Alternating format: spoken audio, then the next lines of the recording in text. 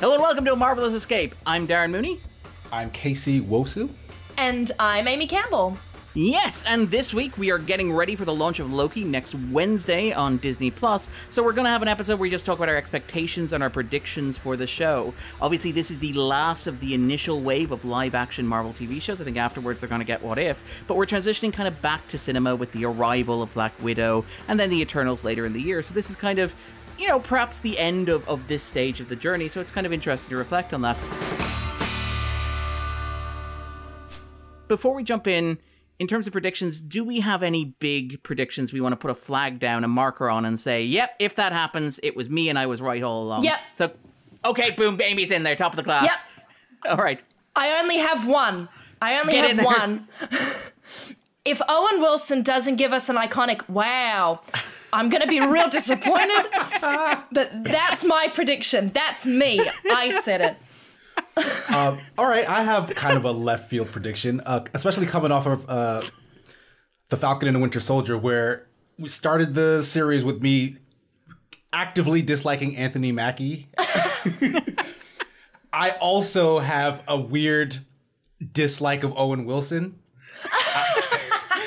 I predict that this show will not endear me to him because I've liked I've disliked Owen Wilson for much longer than I've disliked Anthony Mackie. So but like we Wow. yeah, and, uh, wow yeah owen wilson wow um but like and again it, it's very strange to me i don't know if you guys have these and i don't know if amy does or casey do where you guys are but in the uk Owen Wilson is best known over the past five years because he's taken a step away from the big leading roles that made him famous for selling mattresses. He is a mattress. Yep, in Ireland and the UK, he does a range of advertisements for furniture stores. So he'll talk about the importance of lounging on the couch. And I'm hoping that we're digging up some B roll footage that we can play just to prove that this isn't just something that exists inside my head and I am, you know, being the god of mischief. Dream this. it was a I don't believe dream. you. I just yeah, I, I have to admit I have a soft spot for that Owen Wilson kind of energy, the kind of the uh, the easy laid back California surfer dude thing he has kind of going on. Yeah, just mm, just gets, gets under my skin a little. Lightning McQueen. Honestly, Cars Oh, is one that's- of the the least good Pixar movies. So I mean, careful there, Casey. It's no Cars two. Sorry, I feel like we, we shouldn't derail this into a discussion of Cars 2, but Cars 2 is a fascinating film about how you should always be loyal to your friends, even when they're horrifically racist. Um, no, I, re- I remember you you've gone on about this before, Darren. So we won't. Sorry. Yeah, we, won't, we won't, we won't realize hole. this. All right, so we, we've all agreed in terms of Owen Wilson. I will double down on, on Amy's prediction. I'm wondering, will we get not a wow, but a but a kind of like a slight tilt and come at it at an odd angle and get like a Neo esque whoa. Adding an AH to the end there. Yeah, just you got to subvert expectations. You know what the audience wants going in. You just got to throw them a bit of a curveball. But okay, like you know, in terms of Loki and in terms of Tom Hiddleston, Casey, how do you feel about Tom Hiddleston? I feel is the important question now that you've kind of like Oh, knocked us all okay. off balance. No, Tom Hiddleston does a fantastic job Mm. in that role. I don't believe I've seen him in anything else though. like I've only ever known that actor to play Loki. Um, and so he's getting to kind of just be that character for extended periods of time. And he it seems like he's having a good time from what I can tell in the trailers. Like everything looks fun, flashy. He has like super chaotic energy in the sense that um, he's mischievous, which is the role he's playing. But like, you know, he's charismatic at the same time. So like you unlike MODOK, where this is a villain that we're following, he's very likable. He's very charismatic. So like I'm excited to see what, you know, what he gets up to. Yeah, I mean, Hiddleston has been playing the role for 10 years now. As we're releasing this, as mm-hmm. Loki comes out, it has been a year and a month roughly since the release of the original Thor. And obviously, Loki went on to be not only like one of the best villains of like the phase one of the MCU, standing mm-hmm. out in Thor to the point where I would argue Thor is as much a Loki movie as it is a Thor movie. He then jumped from that to being the bad guy in the Avengers, which, you know, by default became one of the defining blockbusters of the 21st century. He does own that character. And again, like, in particular, the fact that he's coming back to it now, and particularly when you had him killed off at the start of Infinity War, where you had his kind of neck snap by Thanos, and it looked like maybe Hiddleston was going to finish up in the same way that, say, Evans had finished up or Downey Jr. had finished up, where it's like, mm-hmm. I gave this thing a decade of my life, I'm done. The fact that he came back, and the fact that he seems to be having such fun coming back, and the fact where you read stories like his cover story in Entertainment Weekly, where he talks about like the ownership that he has of the character, and he talks about like when they're doing the photo shoot shoot, he was like texting them saying, "I have some suggestions to make this photo shoot more Loki-ish," which is quite remarkable. When you're like, "Yeah, he he is the authority on what it is to be Loki, like more so him yeah. than even Marvel, right?" Yeah. Well, I mean, like, it, you look at the comics, and over the past couple of years, Loki has gone from being like, you look at the kind of classic 60s comics, even 90s comics, he's this ugly, old, wrinkly, hunchback man. And then they, like, reinvent him in, like, 2006 with Michael J. Straczynski, and he becomes this weird, sexy woman. And then he gets killed off, and he comes back as this, like, precocious child written by um, Kieron Gillen. And then, like, when Tom Hiddleston plays him in 2011, they're like, yeah, that that's it. That's what we're doing. And so since around about say 2014, Loki has just looked like Tom Hiddleston uh, in terms of comic depictions, which is not a bad choice. It's like he's arguably as definitive a take on the character as Downey Jr. is on on Iron Man, for example, which yeah. is and weirdly a lot of those Marvel characters have done just that. Like Samuel L. Jackson as uh Nick, Nick Fury yeah. has also kind of they morphed that character into just him going forward as well. Well, fun fact about that is that like actually that's drawn from Darren's being very boring comic book nerd here, but that's that's drawn from right about the turn of the millennium. Uh, writer Mark Millar and artist Bryan Hitch were writing the the Ultimates, which is meant to be this kind of like alternate universe version of the uh, Avengers, and they said, look, Nick Fury you know, he's looked like David Hasselhoff for 40 years now. So they, maybe we should try something new. Can we make him look like uh, Samuel Jackson? And they're like, okay, but if you do that, you have to ask his permission. And Jackson says, yeah, I'd love to be Nick Fury on one condition. If you ever cast him in a movie, I want to get the chance to play him. And obviously, nice. yeah. Samuel Jackson, who will never say no to a job. Um, but I mean, at least he has a better win loss ratio than most other yeah. actors who never say no to a job. Yeah, that like that Bruce Willis, for example, or yeah, um, or Nicolas Cage. yeah, yeah. Um, but Amy, what about yourself and your kind of feelings towards Loki or kind of Tom Hiddleston in the role? What are your what's your take on? I'm really excited. I I completely agree with Casey in that there is just this charisma and cheekiness and charm to him in the role, which is so endearing in a way that despite him being the villain, you can't help but be like, yeah, more of this, give it to me. So I'm I'm really excited, and I mean, it's he's probably one of the only people on earth that can make a mullet look desirable, and for that alone, I'm in. I am so in for that. Can't wait. Bring on more of it. And I was reading up last night because I was going, oh, I feel like I'm a bit out of the zone with all of this, but um, just in some of the bits and pieces he's kind of mentioned like you've said, like he's so definitive in the role, and him throwing out extra suggestions of things like, I want to explore the shape shifting side of this character more, and I want to do this. And those are things I'd like to see a bit more of and see how they choose to explore it. Considering in games and other media, like we've seen a lot of different representations of Loki recently in other media, so I'm, I'm really interested to see how we go forward with this. I mean that that's kind of a nice segue into like looking at the cast, and obviously like there have been a couple of characters announced. We mentioned Owen Wilson; he's going to be playing Mobius M. Mobius. The M stands for Mobius, in case anybody's curious. Um, and he's, he's a B-list kind of forgotten character from the comics, this obscure pull, but he's a, a member of the Time Variance Authority. But you have like a whole bunch of really talented actors there. You have Gugu Mbatha-Raw, for example, who's been doing phenomenal work um, in British film and television, much like Hiddleston himself. You have uh, uh, Wunmi Mosaku, who has done fantastic work. If you saw his house, um, which is on Netflix, it's a horror movie. I wholeheartedly, rep- I wholeheartedly recommend it. It's well worth seeking out. But there have been some low level cast members announced um, that people have been like, hey, they haven't told us who these people are playing. Who could these people possibly be playing? So we know that Richard E. Grant will be popping in for an episode, for example. We know that Sophia Di Martino will be popping in for an episode. And there has been some speculation that at least Sophia Di Martino will be playing a female version of Loki, which is something that I can only imagine Tumblr is very excited about. Tumblr probably cast her already. No, that that's interesting though. Um, that there's all these kind of secret cameos because that that kind of feeds into what I was thinking the premise of the show would be, which would kind of be like a new age quantum leap, right? Yeah. Where like he's jumping into different situations throughout time.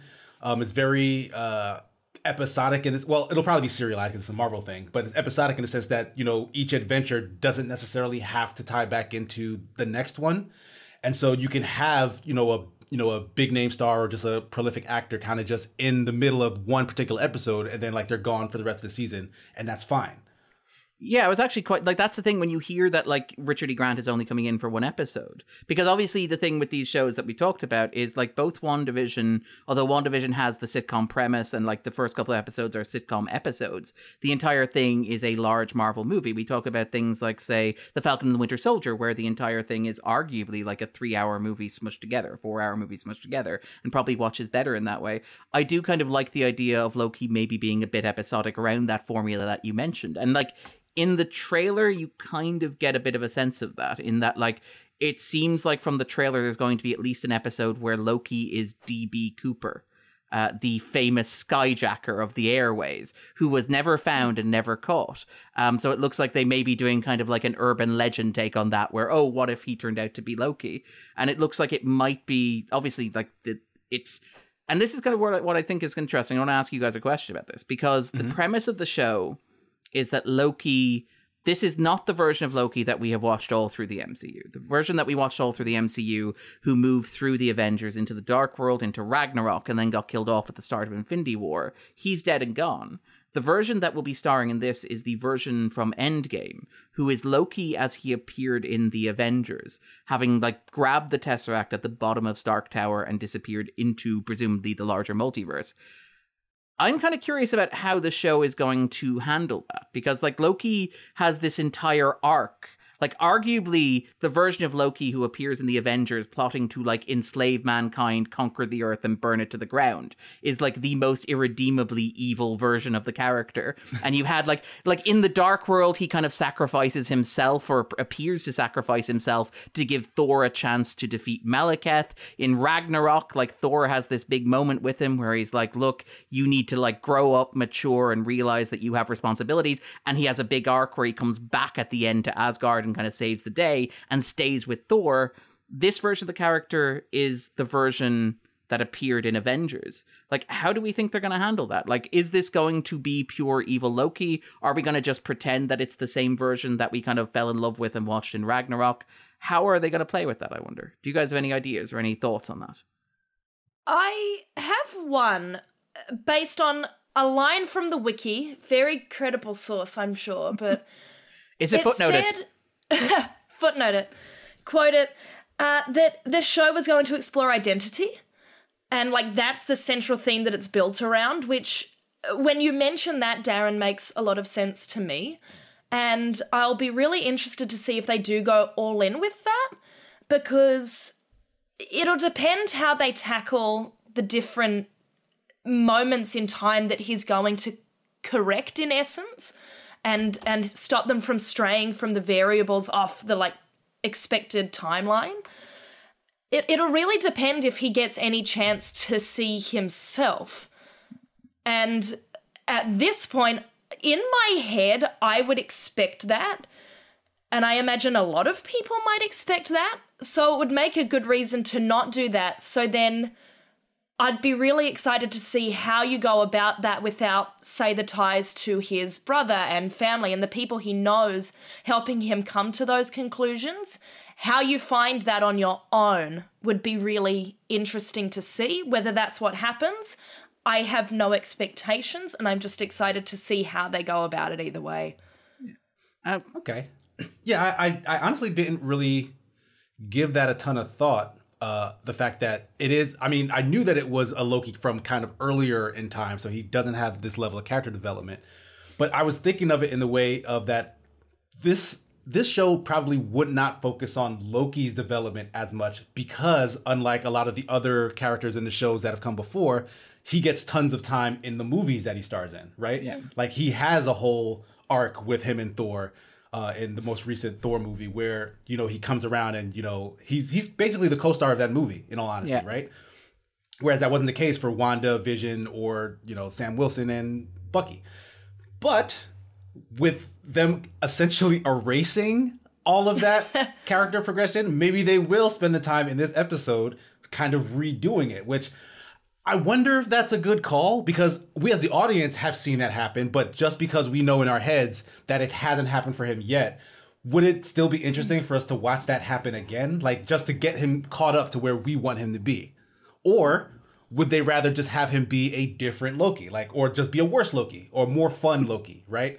Because I, I, I'm of the mindset that I think I'd probably prefer that, right? Rather than have him Yeah. redo what he does Yeah. um, in the movies, have him kind of go off in a variant level and just and maybe become more of a dick, perhaps. I don't know, like go like give him the Breaking Bad treatment, have him actually become like notably evil, but you still oh. root for him. I again, this is the weird oh. situation. Oh, sorry. Oh, go go for it, Amy. Sorry. I was just thinking, I'm like, I was never rooting for Walter White. I just want to, I just want that on the record. I was never rooting for that guy.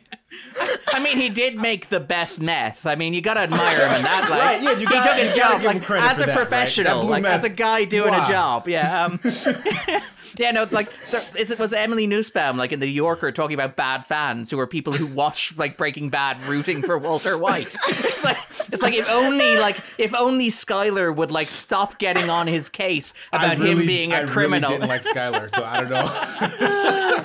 Um, but like to, to bring it back though, in terms of like Loki, I do, and this is something we touched on. Like it, it's a recurring. I don't want to call it a problem with the shows, but it kind of is for me a little bit. But the thing where we are afraid to let villains be villains. So like we talked about WandaVision, where like she enslaves an entire town and then at the end gets a big speech. These people will never know what you gave up for them. And it's like, okay, yeah, that's that's definitely a take. Or like uh, with the Falcon and the Winter Soldier, where you have like John Walker murdering a man on television, but at the end he's like, yeah, this suit fits pretty good, don't it? Uh, it's like, yeah, yes, it does, John. Very, very nice. Very happy for you. Um, and like I do suspect that we are not going to get like proper dark villain Loki. We're going to get something closer to Ragnarok because that's the version that fans like. That's the version that like the kind of the, the idea of the Loki who has been redeemed. And I think to bring it back to something that Amy said there, which I thought was very interesting, and something Casey mentioned as well, which is up until this point, Loki's character development has only been through the lens of the Thor franchise. It's only been through the lens of his relationship to Thor and his relationship to Odin. And now, arguably, I think, I suspect it's safe to say Anthony Hopkins is probably done with the character of Odin, having done his three requisite appearances and cashed his paycheck. Um, maybe we might get a small appearance. I would be a little bit surprised, but you never know with these things. some some CG. Yeah, yeah, like oh, CGI de-aged Anthony Hopkins, of Yeah. course. Yeah, um, using CGI like Silence of the Lambs performance, but like, or things like, um, or and like with you know Hemsworth wrapping up as we're recording this, having wrapped up kind of Love and Thunder with Taika Waititi, and Taika Waititi kind of driving the Thor corner of the universe, so to speak. I think it, it'll be interesting to see Loki branching off by himself because Hmm. one of the interesting suggestions about this show is that this is the first time before one of these is aired that we have gotten very strong suggestions from key creative people. Not teases, not like, oh, well, we'll wait and see what happens, or we'll have to see how audiences respond to this, or we're not ruling anything out. But there has been some very strong suggestion that, like, this may be a show that gets a season two. Uh, I think Michael Waldron, the creator, has said, "Yep, we might do season two. I think Clark Gregg, who you know obviously you know was killed by Tom Hiddleston in the Avengers, um, has talked said like I was talking to him about filming, and they're like, "Yeah, we filmed more than six episodes of this thing." Um, so I do wonder if this might branch off and be its own thing because we talked when we talked about the Falcon and the Winter Soldier. One of the things we noted was that there's an extent to which watching these streaming shows that they seem like trailers for the movies, where things like you watch WandaVision and the hook at the end is go and see Doctor Strange in the Multiverse of Madness. Or we watch Falcon and the Winter Soldier and Casey called this, and congratulations to you, Casey. Uh, it was like, it was, I, I was in awe of that prediction because I was like, no, there's no way that they're gonna do a Cap 4. And Casey's like, just watch. And it's like, yep, they, they announced that like Cap, uh, Falcon and the Winter Soldier was just basically a trailer for Captain America 4 starring Anthony Mackie. So I do wonder, do we think that Loki is going to be a movie that ties directly into a movie coming up, whether that be the Multiverse of Madness, whether that be Thor: Love and Thunder, or do we think that it will be its own pocket thing? What are our kind of predictions in that sense? Can I say it's going to be a mix of the two? It would be my best guess because something you said earlier, Darren, made me think of the fact that, like, obviously Thor has been the driving force of this character. It's his origin, it's where he comes from. But, like we said, Tom Hiddleston is Loki, and people are endeared to I think, the actor as much as they are the character. And I think people are willing to ride that train wherever it's going to take them. Whether that is he becomes more of a dick, which I think would be a heck of a lot of fun. I'd love to see that. And he could pull it off in a way that you'd still root for him and you'd still like it. Um, but in a way that is charming and charismatic. And I think for that reason, they would probably tie it into Love and Thunder. I can 100% see that happening. But because it exists in this world where it's like, but we've got timelines and there's variants. I absolutely think they could say, let's take Loki wherever he wants to go with it because people will take it. They will. Yeah, I, I honestly think it it's more so gonna depend on the popularity. Like if the hmm. reception's good enough, like they they've built themselves a premise that allows them to do either or like amy's saying. Like they can kind of have their cake and eat it too. And we know marvel loves to do that right? Everyone loves cake. Um, so like yeah if if maybe it's not tracking as well as they think but you know they still like the character and maybe you know for the streaming service is doing okay but you know it's not reaching international audiences or whatever whatever stipulations they set for it. They're like all right we'll do another loki season two but it'll stay separate from the mainline movies and whatnot because they killed him in that story for the mainline movies and everything he's doing now can just be you know a what if scenario in all honesty.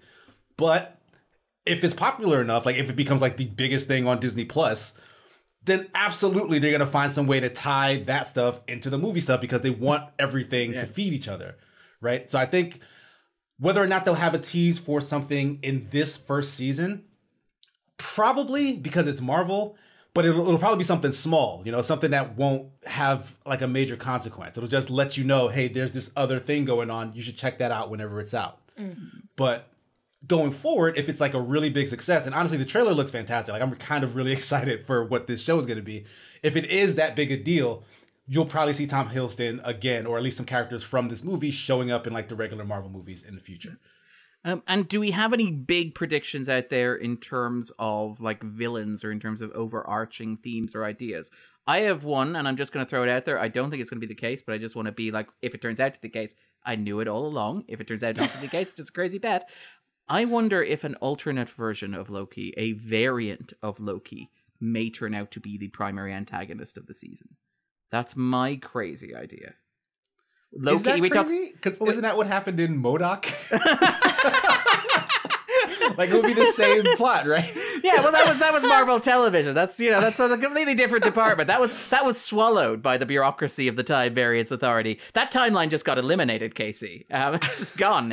Gone. gone. Yeah, Owen Wilson took care of that. Um, that that's been clipped. Um, but do we have any big predictions in terms of like where we like crazy end game where this ends up?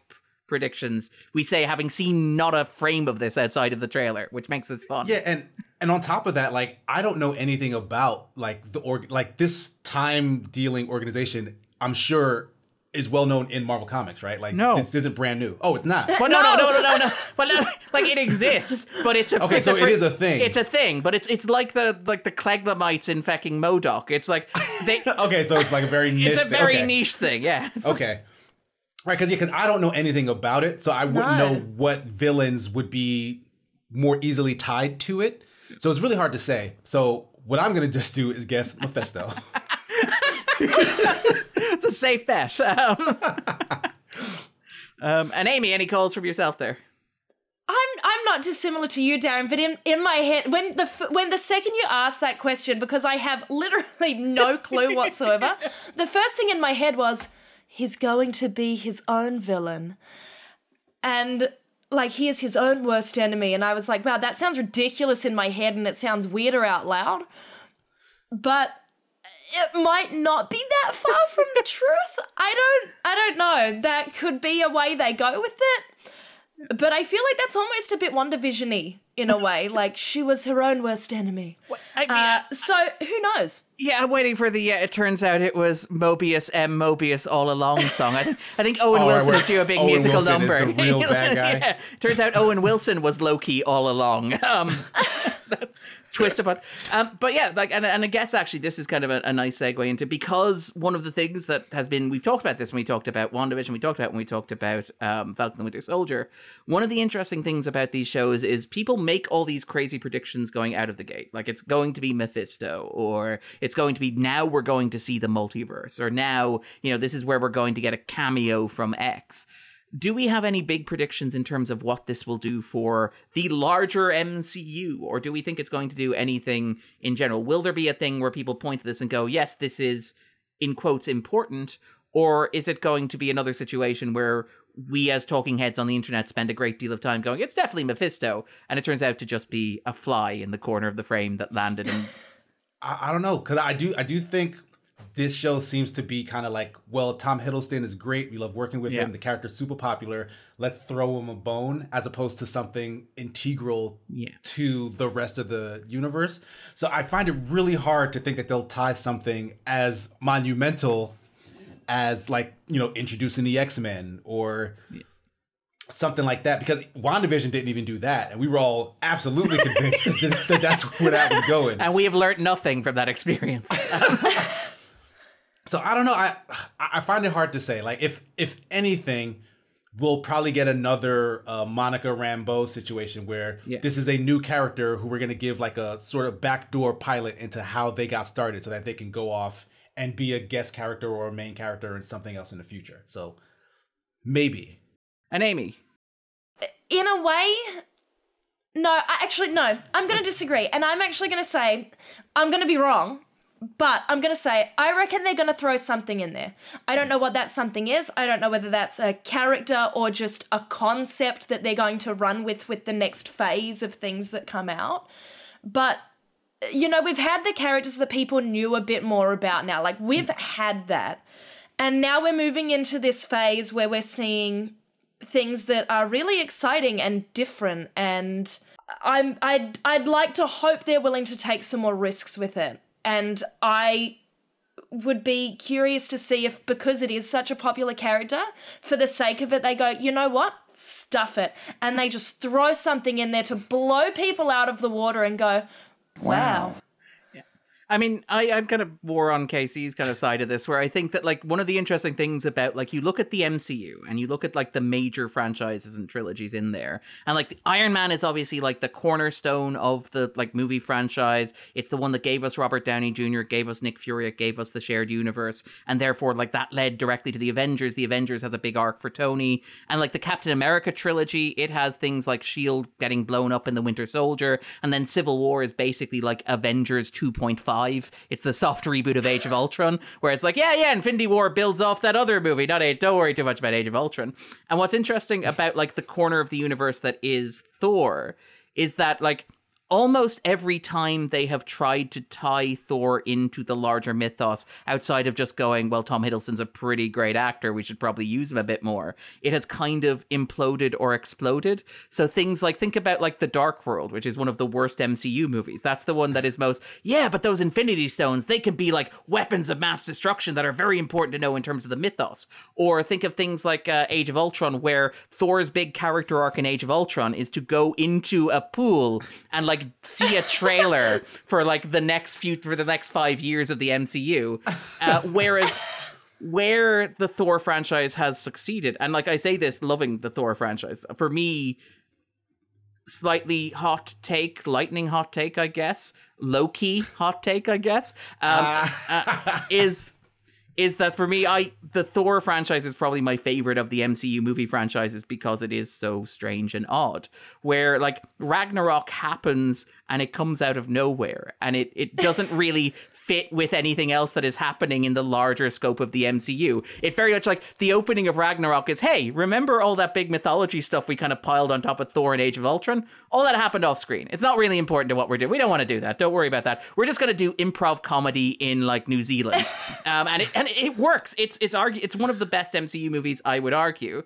And I do think I wonder if like with Loki, there's a sense of well taking what Taika Waititi did and just letting it be its own weird thing. That's my kind of that's my most hopeful, optimistic take is that like Loki is allowed to be its own weird thing where it can just do whatever it wants in its own little space. That's my very optimistic, hopeful prediction for the show. Um, so I think that about wraps it up then. Is before we go, any wrap up thoughts, any things that we think we haven't discussed or kind of need to in terms of like getting everybody ready for Loki next Wednesday? Oh no, but I had something I wanted to add that I totally forgot about, and you're talking about Thor's just reminded me. I know that the characters in What If, but God, I want Korg. Just give me like five minutes of Korg in this. I love that character so much. I want Korg. Have you seen the behind the scenes photos of how they shoot that? Where like Taika Waititi wears, uh, obviously it's all green screen, but he wears a little helmet and it's just a little rod that connects up. I don't know if people can actually see this on the video, but like it's a, and it's a Korg head. So that, like Chris Hemsworth knows that he can look up and see Korg up there when they're CGIing him. Um, with you, hopefully people will watching this will be seeing some photos of it. It is amazing and brilliant and I love it. And yes, I, I am all for more Korg uh, in my life. Um, all right then. Agreed. And Casey, any last words, any parting thoughts before we finish up? Uh, n- nothing much. Like I, I kind of, I have a thing for like time travel stories, and Endgame was weirdly kind of scarce in terms of their time travel like lore. Like they kind of like threw it in there as like a MacGuffin and went went about their business. So this one is all about time travel. So hopefully they'll spend a little bit more time like teasing us with like the actual mechanics of it in like a cool and interesting way. So I did- I'm I'm really excited for this show. Even from the trailers, I kind of love the idea that this is the bureaucrats who have to clean up the mess the Avengers made at Endgame with their like no rules of time travel. It's just time travel. Am I right? I kind of love the idea that Right. there's an entire department of people with pencils and paper going, "No, you can't just do that. That violates subsection B three. have you never seen Back to the Future or Primer?" Um, all right then. So uh, we'll be back next week. Uh, we'll be discussing um, the first episode. Uh, we'll hopefully be coming at you, I think, Friday, Saturday, roughly a week from when this lands. But until then, take care, true believers. I've been Darren Mooney. I've been Casey Nwosu. And I've been Amy Campbell. Take it easy, guys.